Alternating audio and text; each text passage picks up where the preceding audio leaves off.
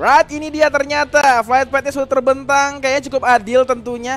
Hmm, kayaknya ini 60-40 ya Jelly ya. Ah, lumayan. Lumayan lah lumayan. untuk tim-tim yang pengen ngambil ke arah El Azhar sepertinya harus segera mencari vehicle yang ada di pinggir-pinggiran jalan rayanya atau mungkin di beberapa tempat yang bisa dimanfaatkan. Karena Iya. lagi dan lagi setuju banget teknologi vehicle sangat dibutuhkan untuk melakukan rotasi di map besar dan map terbuka seperti Miramar kali ini. Wah, yang menarik nih ya, lagi-lagi circle yang ngebouncing daripada garis pesawatnya dan juga ada dua kota yang melihat ada beberapa tim yang sudah mulai bertumpukan dan mungkin akan clash di awal-awal. Ada kota Pekado dan juga El Pozo terpantau. Ada dua warna yang berbeda pastinya dan kali ini fight sudah mulai pecah juga. Ternyata di HDP pun ada pertemuan yang tidak diinginkan. Wan Uno yang harus bertemu begitu saja dengan Anmas Esport kali ini sudah ada beberapa player yang dipulangkan. Terpantau di depan sana ada UMP yang sudah digunakan dan cukup berani player dari Anmas ini mengambil titik tengah daripada gedung Hacienda del Patron. Itu bener bangetnya satu player dari Anmas kali ini berhasil menumbangkan satu player dari tim eh, One Uno Esports seorang Wenchen. Walaupun tadi kita melihat seorang Wenchen belum mendapatkan helm, kali ini mendapatkan helm, Fast pun belum mendapatkan, Wow. hanya memiliki satu first aid, mendapatkan juga satu UMP yang bisa dilakukan untuk melakukan fight kali ini. Tapi lagi dan lagi harus berhati-hati ketika Player daripada One Uno sudah mendapatkan weapon bahkan armor yang sangat-sangat mumpuni untuk dilakukan fight. Ini bakal PR banget untuk tim Anmas Esports. Ya dan M249 senjata mematikan sudah dipegang di tangan dari satu player di belakang sana bahkan Fai akan lebih berhati-hati lagi karena salah satu playernya yang sudah diamankan begitu saja membuat kepincangan juga pastinya untuk One Uno Esports dan terdengar kembali suara granat on point sekali by One Get One Free menyisakan last man standing Fai kali ini harus berjuang seorang diri mendapatkan satu apakah bisa bertahan Oh dan God. tidak bisa Anmas Esport berhasil memulangkan One Uno Di early game kali ini ternyata ada dua tim yang bertemu di Hacienda del Patron dan fightnya dimenangkan oleh Anmas Esport. Satu player tadi sudah dipulangkan oleh seorang Wenchen dari Anmas. Tentunya tiga player akan bertarung lawan empat player dari Anmas dan One Uno tidak bisa bertahan lagi. Ternyata Hacienda del Patron dan juga Golden Mirado dimiliki oleh Anmas Esport. Kemenangan yang benar-benar mutlak banget tapi kali ini ternyata fight kembali pecah. El Pozo yang sudah mulai dibunyikan dengan banyak sekali tappingan-tappingan senjata. Dan juga ada dua tim yang lagi berjuang kali ini mungkin akan melakukan fight selanjutnya. Karena mengingat satu player yang sudah diamankan trading kill nampaknya terjadi antara kedua tim 3 on 3 situation. Namun tim minus masih terpantau di belakang sana juga dengan healing kit yang begitu minimalis. Bahkan beberapa playernya tidak mau terlalu berburu-buru mengambil bagian luar obstacle-obstacle vehicle yang mati kali ini diambil dan dari tim Foxa Ubi yang sudah mulai lebih memberanikan dirinya juga untuk menyisiri bagian-bagian pinggiran dari gedung. Betul, tentunya dua player yang menjadi tema yang paling depan dari tim minus yaitu Jot dan juga Axolite harus berhati-hati tentunya karena dua rekan lagi agak cukup jauh di area belakang tapi sepertinya tidak ingin berlama-lama dua player lagi ingin segera langsung nge-follow up dan regroup dengan player-player tim minus lainnya. Bahkan tim Foxa tidak ingin terlalu gegabah untuk maju ke depan karena ini berbahaya sekali. Axolite dan juga Jot ternyata sudah mengamankan rumah bata yang ada di belakangnya. Kayaknya lebih memilih untuk retreat aja nggak mau terlalu lama untuk commit fight karena mereka juga melihat ini sangat apa ya sangat tidak worth it lah untuk fight dengan empat player yang dimiliki oleh tim Foxa Ubi. Ya, dan ternyata ada sebuah usaha pelemparan granat yang mungkin bisa dibilang agak sia-sia juga sih ya. Karena mengingat tadi satu tim dari tim minus itu sendiri sudah retreat atau disengage mundur ke arah belakang juga. Pastinya mereka tidak mau kehilangan momentum atau timing mengingat kota El Pozo begitu jauh dari play zone pertama. Namun di sisi lain ada fight yang pecah juga AKM no scope ditembakkan ke arah depan. Berhasil untuk mendapatkan satu player dari Xavier Yeye menuju ke arah satu tim di depan sana. No drop nampaknya kali ini mendapatkan sebuah batu sandungan di early game lagi dan lagi. Sudah ada beberapa tim atau bahkan enam tim yang bertemu di early game kali ini dan kali ini berpindah vision ke arah open field yang dimiliki oleh tim No Drop dan juga Xavier Yeye. Kita akan melihat tadi satu player sudah tertumbangkan bahkan dipulangkan ke arah lobby dari tim No Drop. Tiga player lagi harus bisa nge-defense area mereka kali ini. Kalau ketika tim Xavier udah pede banget maju ke depan atau maju ke atas dengan melakukan split dan mendapatkan vision yang lebih ini bakal PR banget untuk tim No Drop dan bahkan satu player tim No Drop udah memilih untuk gak ingin berlama-lama bahkan diberikan juga beberapa pure hire bahkan M16 dari seorang Ciboy sepertinya belum on point dan meninggalkan pertarungan dari tim No Drop tadi. Ya, karena mungkin dari segi holographic scope-nya juga nggak terlalu mumpuni ya, seperti yang tadi sudah dibahas sebelumnya oleh Eldoge sebelum match dimulai. Yang namanya scope itu adalah aset yang penting untuk dikolaborasikan dengan senjata yang dimiliki. Percuma kalau misalkan kita punya sebuah senjata jarak jauh tapi nggak punya scope yang mumpuni, jatuhnya jadi nggak terlalu bisa digunakan secara maksimal. Betul mungkin kalau misalkan tadi dia punya M16 dengan minimal empat kali lah ya, itu pastinya bisa sedikit merusak dari armor, helm ataupun dari segi mobil atau vehicle yang digunakan oleh tim tersebut. Betul, kalau skemanya kan lebih memperdekat daripada target yang akan kita tuju tapi lagi dan lagi. Di sini RDAS DB Asia bertemu dengan tim lain. Satu player sudah tertumbangkan, belum dipulangkan ke arah lobby. Seperti masih bisa diselamatkan tapi tidak memilih untuk menyelamatkan. Lebih memilih untuk defense terlebih dahulu seorang swab karena dua player dari sebelah kanan sudah mereka beri sudah mereka proning shoot bahkan udah low Banget dari seorang swab dan juga ditumbangkan. Udah menjadikan ini fight yang sangat-sangat mumpuni tentunya. Satu player lagi dari tim RDA SNDB Asia berusaha untuk menjaga rekan-rekan yang sudah ter-take down. Satu player yang aktif dari tim nomor 10 Bahkan- yaitu tim Jongki akan segera melakukan depan bahkan di secure elimination terlebih dahulu oleh satu player lagi Hop di sana memberikan harapan untuk RDA SNDB Asia. Al Azhar akan menjadi fight terlutunya tentunya akan menjadi fight yang sangat besar sekali last man standing sepertinya dari tim nomor 10 yaitu tim Jongke harus melawan seorang Hop depan sana melawan tebing yang cukup tinggi tentunya. Ini tidak bisa dilakukan fight kalau misalnya mereka tidak langsung bertemu. Bahkan satu player lagi dari RD Hasen langsung memfollow dari sebelah kanan dan sebelah kiri menjepit player dari Jongke dan WSP dengan seorang di depan sana mendapatkan lagi satu player daripada tim Jongke. Last man standingnya cukup jauh dari tim Jongke. Ini belum bisa menyelamatkan rekan-rekannya. Akan dilakukan satu nade ke depan sana. Hati-hati Oh, ini ini bisa buy one get four. Hati-hati apakah akan on point depan sana dan ternyata berhasil menumbangkan kembali, lemparkan nade-nya kembali. Ini banyak banget nade yang dimiliki oleh tim. Jongke. Oh my god, kali ini lemparan granat berikutnya will connect dan itu dia boom! My sudah God! langsung dipulangkan oleh tim John K. Last man standing bermain dengan IQ True 100. Dia tahu semuanya ngumpul di belakang sana. Satu player dibiarkan bleeding out, dibiarkan menjadi mata-mata menjadi orang dalam daripada tim John K itu sendiri, memberikan informasi yang sangat-sangat berharga pastinya. Itulah sayangnya kalau misalkan kita udah berhasil untuk knock satu tapi nggak langsung di end. Itu akan menjadi sebuah duri dalam daging. Karena informasi yang dikirimkan kepada last man standingnya itu yang membuat tadi kenapa dia pakai granat aja. Nggak usah maju. Toh lagi pada revive semua. Betul. ngumpul di satu titik. 200 IQ digunakan oleh Om Joni ke arah RD Hasan DB Asia. Dan on point banget dua bahkan tiga nit lemparkan memulangkan semua player. Om Joni ini adalah membunuh tanpa menyentuh. Waduh bahasanya serem banget ya memulangkan tanpa menyentuh tentunya Om Waduh. Joni mendapatkan tiga elimination karena berhasil untuk melemparkan nit yang on point banget ditambah satu mata-mata walaupun bertahan dengan dua player tim Jongki tapi tidak masalah masih bisa untuk survive tentunya di circle-circle ber- berikutnya setidaknya bisa mengamankan point placement lah Jal Ya, benar banget. Seenggaknya masih bisa survive lagi untuk ke circle-circle atau play zone berikutnya. Namun ternyata begitu banyak fight yang terjadi kalau kita lihat ya di Miramar early agak sedikit menarik gitu loh karena jarang sekali kita ngelihat Miramar banyak fight di awal-awal. Karena yang kita tahu Miramar itu semuanya lebih bermain hati-hati juga. Bahkan tadi kalau kita lihat dari garis pesawat nggak terlalu menyesatkan gitu loh nggak terlalu menyulitkan seperti dari Irengel tadi kan Mm, betul, nggak nggak terlalu pelit lah, cukup adil lah ya. Nah itu dia, kalau tadi Irengel itu kan lebih apa ya, lebih ekstrim lah ya dari garis pesawatnya. Bahkan tadi di Irengel semua tim masih bisa bermain lebih hati-hati. Tapi ternyata kali ini ter- ada banyak sekali titik, scrapping area, ataupun juga kota-kota yang menjadi incaran dari beberapa tim. Itu yang mungkin membuat banyak sekali fight yang harus terjadi.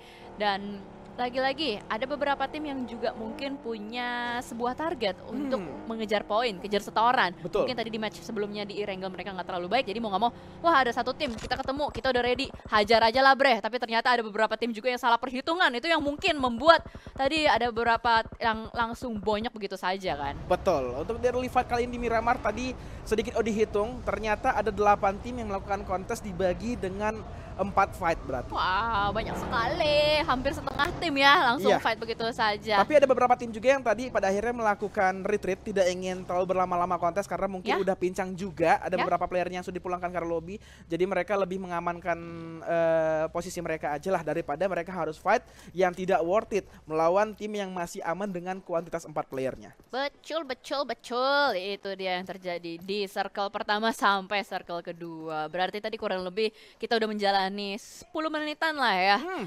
Fightnya begitu banyak. Jadi membuat ini adalah Miramar tontonan yang cukup menarik untuk disaksikan. Dan sementara kita lihat dari For Easy Cyclone yang tadi juga menampilkan sebuah performance yang cukup ah, baik di Irengel. Mereka bermain dengan objektif juga. Dan Cyclone ini adalah salah satu tim yang menurut gua sering banget kedengeran namanya juga ya dari For Easy kayak Oke. mereka sering kali berapa kali aktif gitu loh ikut turnamen juga. Dan yang mengejutkan adalah memang tim-tim yang underground atau Hmm. underdog yang kita sama sekali nggak tahu namanya ternyata malah memberikan performance yang luar biasa seperti tadi mungkin Katama 88 Instinct Ya. yang tiba-tiba di akhir game masih bisa survive juga dan mendapatkan winner-winner chicken dinner. Namun memang walaupun poinnya masih bisa disalipkan ya sama tim RD Hasan dengan kill point yang begitu banyak tadi. 15 ya 15. Indonesianya. Tapi setuju banget nih Jel karena memang komunitas PUBG Mobile di Indonesia ini makin step up, makin berkembang, makin jago-jago. Jangankan yang di turnamen, Ya. klasik pun udah pada galak-galak. Jadi membuktikan bahwa mungkin tim-tim yang masih agak kurang terdengar namanya ketika Ha-ha. mengikuti turnamen sebesar ini pas ngelihat eh, bagaimana performanya sangat mumpuni, sangat bagus, nggak heran lagi karena Nah, memang komunitas PUBG iya. Indonesia itu sangat-sangat berkembang. Nah itu dia justru malah gue berterima kasih banget sih sama yang adanya Piala Presiden Esports 2021 ini. Menjadi wadah atau sarana juga buat para komunitas untuk bisa lebih berkembang lagi. Dan bahkan nanti siapa tahu gitu kan bakal ada pertemuan dengan tim-tim pro lainnya ya. Itu yang kita bakal tunggu banget ya. Tapi ini Mhm. kemungkinan bisa terjadi sih. Nggak mungkin. Makanya. nggak. Makanya bakal penasaran nih. Tim Iya. komunitas yang belum tersebut keberadaannya atau bah- bahkan baru terdengar akan bertemu nggak dengan tim e-sport yang bahkan bisa dibilang profesional. Tim manakah yang akan eh, kuat untuk bisa berlaga di Piala Presiden Esports 2021 kali ini? Betul, karena ini adalah ajangnya mereka untuk mencari experience, pengalaman, jam terbang lagi. Karena kalau misalkan mau cari jam terbang tidak ada wadahnya percuma kan. Mm-mm. That's why mantap sekali nih Piala Presiden Esports 2021 akhirnya kali ini menghadirkan game PUBG Mobile. Wuh, terima kasih. Oke, kita akan kembali ke match kita kali ini. Ternyata membanting ke arah eh, selatan. Mhm. Lebih tepatnya ke arah Minas Generales tadi. Kita bisa mengetahui daerah sini begitu banyak tebing-tebing tinggi, bahkan sedikit cekungan dan ini bisa menjadi apa ya? Salah satu kesempatan untuk tim-tim yang melakukan rotasi lebih awal mendapatkan area-area high ground yang sangat advantage untuk melakukan spotting ke arah lawan-lawannya yang ada di arah low ground. Ya, dan kalau kita lihat juga udah ada Barusa Esports yang mengunci tebing cukup tinggi di sekitaran Minas dan itu akan menjadi sebuah advantage juga pastinya buat mereka karena dengan adanya rotasi-rotasi tim mengelilingi kalau misalkan angle shotnya terbuka, clear shot itu pastinya akan digunakan oleh Barusa Esports untuk seenggaknya memotong rotasi atau mengacak-ngacak rotasi dari tim lain karena penting banget itu loh yang namanya mengacak-ngacak rotasi tim lain. Walaupun mungkin pelurunya akan sia-sia karena kan Hmm. belum tentu 50-50 gitu loh untuk bisa Betul. mendapatkan vehicle explosion ataupun bisa mendapatkan kepala dari uh, manusia tersebut atau player tersebut gitu kan. Tapi seenggaknya rotasi yang udah diacak-acak itu akan membuat sebuah tactical distraction lagi pastinya untuk tim-tim lawan. Setuju? Nah, dan sementara kalau kita lihat juga dari sisi lain di bagian bibir zonanya kali ini ada tim nomor 5 atau Katama yang tadi sudah mendapatkan winner-winner chicken dinner, nampaknya sudah menemukan Wow. targetnya, korbannya tapi malah mereka yang harus ter-takedown satu persatu playernya oleh Xavier Yeye. Ini mau nggak mau Xavier Yaya melakukan defense ke arah daripada Katama. Ketika mungkin melihat dua player yang sudah tertakedown akan maju, tapi ini baru hanya satu player. Akan resiko sekali dan mungkin tim Xavier Yaya belum mengetahui bagaimana strategi atau bahkan positioning dari tim Katama 88 Instinct kali ini. Mereka yeah. melakukan split dua player di tengah, satu sebelah kiri, satu sebelah kanan. Jadi mau nggak mau Xavier hanya bisa melakukan defense tanpa harus melakukan offense ke arah daripada Katama 88 Instinct. Yap, betul sekali dan kalau kita lihat mereka masih nge-defense begitu aja, nggak mau langsung melakukan rush atau tindakan gegabah keluar dari komponen yang mereka udah miliki untuk berusaha mendapatkan elimination dari tim 5 itu sendiri. Bahkan dari tim 5 atau Katama kali ini mungkin akan melakukan disengage repositioning kembali dari timnya itu. Tapi pergerakan yang cukup berani dilakukan melintasi padang gurun ditembakin oleh salah satu player namun masih belum cukup connect juga karena UMP yang digunakan. UMP senjata yang tidak terlalu cocok juga pastinya untuk melakukan long range combat. Mungkin hanya sedikit lecet-lecet aja dari vehicle-nya tapi bertubi-tubi tembakan terus menerus ke arah depan dan ternyata what happened? Woo! Counter shoot yang begitu sakit oh masuk dan ternyata berhasil untuk mengamankan satu player di depan sana. Itu kayaknya dari tim dari tim Katama ya. Tetap ya, jadi mereka ngebet dulu satu player untuk melakukan rotasi, bahkan sudah mendapatkan satu arah logan depan sana, dapetin vision satu player savior yang ada di arah atap tadi, oh, langsung dipulangkan ke lobby. Tiga player yang lainnya baru rotasi belakangan. Benar. Ini 200 IQ lagi yang dipertontonkan pada Piala Presiden Esports 2021 nih, Jal. Gila gokil banget, mereka rotasi aja udah pakai strategi ya kan, dan ini udah benar-benar mengerikan banget menurut gue dari tim komunitas itu sendiri. Lihat kembali di depan sana, ada sangsaran baru, mangsa baru, tim Sivia nampaknya kali ini menjadi target dari tim Katama. Tembakan bertubi-tubi dilontarkan through the smoke. Membuat mereka tidak bisa bergerak ke mana-mana. Lagi-lagi tapping. Double shoot. Double crossfire yang kita lakukan. Kita lihat sekarang sementara waktu masih belum bisa membuat tim Sivia bergerak. Yes, beberapa kali tadi player daripada tim Katama 88 Instinct memberikan tapping through the smoke ke arah tim Sivia. Tapi lagi dan lagi masih tertutup visionnya. Masih ada obstacle juga. Masih bisa merdisvive satu player yang ter-takedown. Bahkan Nate akan dilontarkan ke depan sana. Apakah kan poin? Sepertinya belum sama sekali on point ke arah tim CV. Oh bahkan netnya connect ke salah satu tim daripada player yang ada di depan sana. Tim pertama belakang 88 masih depan dan ternyata akan melakukan follow up dari player lainnya. Ini akan menjadi jepitan yang sangat-sangat tidak mengenakan untuk tim CV ya. Bahkan tim CV ya dipulangkan ke arah lobby kah? Oh, rata, rata, Kayaknya rata, rata, rata, sih. Itu itu itu itu udah instan banget tadi dua player yang terjepit dalam smoke-nya dan tidak bisa bertahan lagi.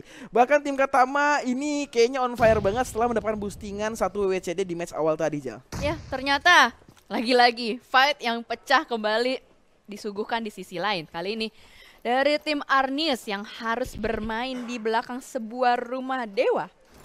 Hmm, ini rumah dewa pertigaan di bawah Minas Generalis sepertinya yang akan menjadi rebutan oleh tim-tim lain. Dilebarkan juga Nate dari tim nomor 12 yaitu tim Arnius Genflix yang gak mau mengizinkan tim lawannya untuk masuk ke arah rumah dewa kali ini dan pindah ke vision dari arah lain. Ternyata tim Katama 88 bertemu lagi dengan lawan yang lainnya yaitu Lorus Esport yang memberikan satu tapping M24-nya ke arah daripada tim Katama 88. Balik lagi ke arah gudang yang ada di rumah dewa kali ini pertigaan yang sangat open field. Ini jalur rotasi yang sangat uh, sering dimanfaatkan oleh tim-tim lain untuk melakukan perjalanannya. Tapi kali ini sepertinya agak sedikit pasif. Mereka saling menunggu aja. Mm -hmm. Bahkan satu player lagi dari tim minus akan mengamankan satu um, low groundnya untuk menutup atau memberikan vision yang baru atau vision lainnya ke arah tim nomor 12 yaitu tim Arnis Genflix. Iya, yeah, setup dari tim Minus itu sendiri gimana ya? Nggak bisa maksimal. Lihat, satu player berhasil di takedown itu akan menyulitkan pastinya juga untuk last man standing yang berada di belakang sana mau melakukan backup itu bakal sulit banget dan pinter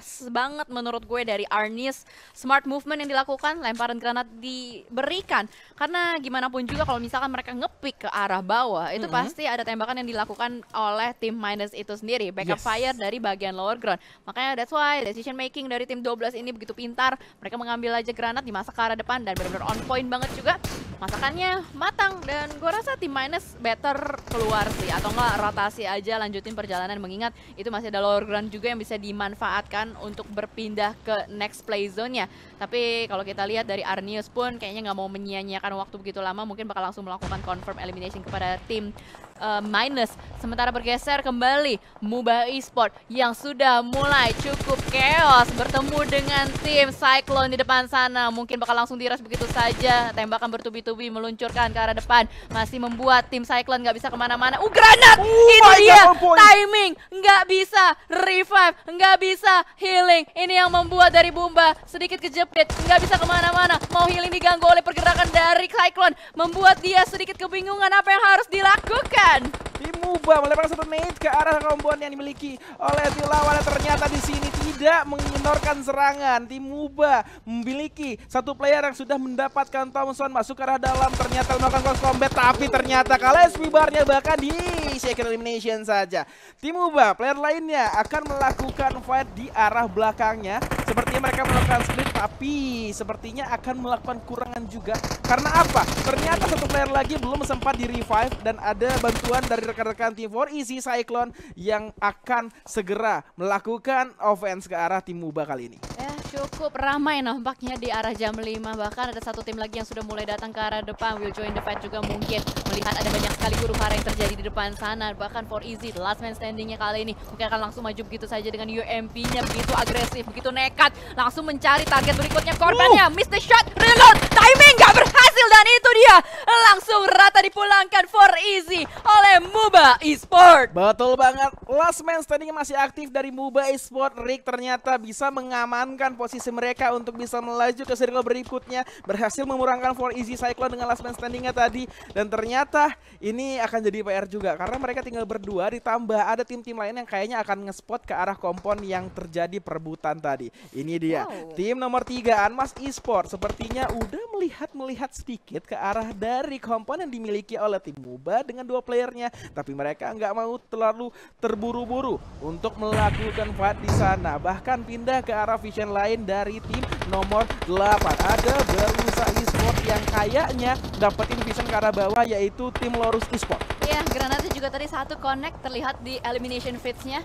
Itu yang membuat mereka sedikit kesulitan tertahan di belakang sebuah bebatuan. Tujuh tim tersisa. Sepertinya kalau kita lihat masih berjuang untuk bisa masuk ke dalam play zone yang kelima. Sudah mulai ada lontaran granat demi granat. Timing, momentum untuk bergerak sekarang langsung dilakukan begitu saja oleh Barusa Esport melempar kembali granat yang dia miliki. Dia benar-benar harus bisa menghentaskan dari Lorus Esport. Betul banget, ternyata ini terjadi 3Y showdown antara Lorus Esports, Barusa Esports, dan juga Muba Esports yang sepertinya masih terjepit di kompon yang Aha. mereka lakukan fight tadi. Mereka nggak mau terlalu terburu-buru karena sadar tim mereka sudah pincang dengan dua kuantitas playernya tidak bisa melakukan banyak hal ketika tim lawan yang masih ada empat kuantitas player melakukan split bahkan flanking ke arah mereka. Ya, ini Lorus benar-benar punya Dewa Fortuna ya untuk sementara waktu. Ada circle yang berpihak untuk Lorus tapi masalahnya lihat udah banyak tim yang berusaha untuk merebut keberadaan kekuasaan dari Lorus itu e-sport itu sendiri. Satu player berhasil di take down bahkan trading terjadi. Satu persatu player-player dari Lorus itu rontok juga. Bahkan dari Anmas e-sport akan berusaha untuk menembak ke arah depan. Ada satu tim yang akan berusaha dipulangkan begitu saja dari DB Asia Foxa yang masih bertahan. Nggak terlalu agresif kali ini bermain defensif saja bermain di bagian bibir zonanya membuat sebuah fortingan memantau kembali ke arah depan kali empat. Tembakan bertubi-tubi Oh dilontarkan. dan satu player berhasil di take down oleh seorang Heldes Yes, betul banget ya. Player dari DB Asia Foxa. Seorang Hades mendapatkan satu player lagi tapi mereka udah nggak spot. Tim lainnya ada tim Anmas Esport yang berbalik atau bahkan ada di balik dari minibus depan sana. Tayonya ini cukup kuat untuk dijadikan fortingan tapi lagi dan lagi ketika mereka dilemparkan nade kalau on point ini bakar rata dan ternyata satu player bahkan dua player sudah tertake down di sana. Last man standing masih aktif dari tim Anmas Esport harus segera bisa merevive kalau tidak ini akan menjadi kerugian tapi agak sulit nampaknya ketika mereka ingin langsung ke arah rekan-rekannya yang sudah ter-take down sepertinya kena explosion tapi belum meledak juga sangat kuat. Bahkan satu player sudah di shaker elimination. Satu player lagi masih bleeding out. Sepertinya akan dilupakan saja karena mereka lebih memilih untuk bermain objektif depan sana. Yes, dan bahkan Lorus masih lengkap, nggak masih lengkap yang masih bertahan dengan tiga orangnya. Satu player berhasil untuk mendapatkan sebuah headshot ke arah tim lain. Dan kali ini bermain dengan begitu hati-hati dari Lorus Esport di sebuah rumah. Dan mereka mendapatkan titik tengahnya dari circle itu sendiri dan sebuah advantage pastinya juga untuk Lorus Esport melihat mereka yang kayaknya masih punya kuantitas player paling banyak di antara yang lainnya. Sementara dari tim 8 Barusa Esports bertahan last man standingnya nggak bisa bergerak terlalu gegabah ada smoke yang masih pop out untuk sementara waktu, tapi seberapa lama nih smoke-nya masih bisa menyelimuti badan dari player DBS? Ini nggak akan bertahan lama, walaupun smoke-nya cukup lama dilontarkan terus menerus, tapi zona tidak ber uh, tidak berarah pada tim Barusa Esport yang mau nggak mau ini last man standing harus segera masuk ke arah zona, tapi zona udah jagain sama dua tim. Ada tim Lorus dan tim nomor 14 yaitu tim DB Asia Foxa. Ini bakal PR banget nih untuk survive dari satu player yang ada tim dari tim Barusa uh. Esport kali ini. Ternyata trading knock terjadi antara Lorus dan juga tim yang di depan mereka DB Asia Foxa masih berusaha untuk merebut area kekuasaan masing-masing tim. Bahkan Lorus, dua player yang sudah diamankan, menyisakan dua player terakhir. Tapi satu playernya sepertinya aware dengan keberadaan the last man standing dari tim yang warna pink. Dan kali ini kalau kita lihat dari chat dengan M249-nya masih bertahan juga di belakang sana, bermain di bagian lower front yang memberikan pressuring pada tim Lorus. Dan terpantau di depan sana, miss the shot! Timing! Momentum lagi dan lagi berhasil ternyata tidak dibalikan begitu saja. What a nice count counter yang dilakukan oleh tim nomor 14 DB Asia Foxa menyisakan uh, dari Lorus itu sendiri. Uh, lemparan granat lagi dan lagi begitu on point ke arah depan. Berhasil mendapatkan satu. Membuat kali ini kondisinya berimbang. Betul sekali dua player di Lorus ini kayaknya udah pede banget untuk maju ke depan karena satu player dari tim nomor 14 DB Asia Foxa sudah tertake down depan sana melakukan free juga. Tim DB Asia ke arah tim Lorus tapi satu player lagi tertake down. Satu player lagi yang udah atau masih aktif depan sana melemparkan nade untuk ngebeat dari Padi lawan-lawannya sepertinya tidak melakukan revive pengen uh, pop out smoke terlebih dahulu untuk menutupi visionnya. Yang paling enak adalah Barusa Esport. Ya. Last man standing daripada Barusa Esport ini bisa masuk ke arah zona. Harus berhati-hati tapi karena di sisi kanan ini terjadi fight antara dua tim dan Barusa Esport tidak terspot posisinya oleh tim DB Asia Foxa dan juga tim Lorus. Wah, bahkan dia mendapatkan sebuah reset armor dan helm dan juga MK14 udah di tangan dari seorang Bloods itu sendiri. Uh. Sebagai the last man standing, harusnya dia bermain lebih hati-hati juga. Tapi ternyata Lorus aware dengan keberadaan seorang Bloods kali ini berusaha untuk berlari dua player yang akan melakukan double pick dan tembakan ke arah depan bertubi-tubi tidak bisa. The last man standing dari Barusa pun harus dipulangkan tapi Lorus masih aware juga dengan keberadaan dari DB Asia Foxa di depan sana. Satu player berhasil ditumbangkan. The last man standing Lorus apakah bisa untuk melakukan flash kali ini tembak Tubi dan wow itu dia winner winner chicken dinner berhasil diamankan oleh DB, DB Asia Foxa. Wah, the best banget dia. DB Asia Foxa mendapatkan WCD dengan bagaimana mereka melakukan offensive